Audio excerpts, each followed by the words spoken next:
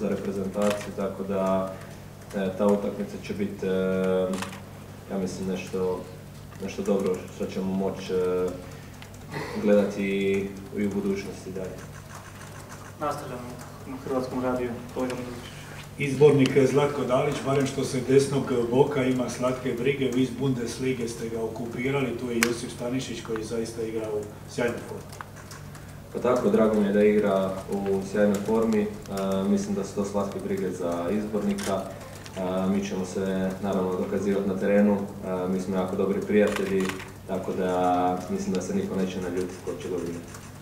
Da ćemo morati trčati za svojim krilnim napadačima, posebno i u Bundesligi ima jako brzih napadača isto u Bayernu, Davis je tamo, Koman je isto tamo, tako da mislim da smo naučili to, morat ćemo igrati isto kao i protiv Brazila svi skupa. Poručiti sad kad je na početku tog puta gdje bi mogao biti 2026. i nekakav savjet kako taj put izgleda.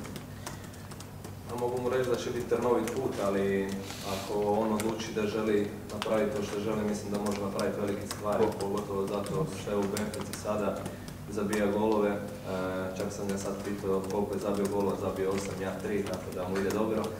Ali što mogu reći da naporno radi, e, da se stavlja ciljeve visoko i da ih pokuša dohvatiti.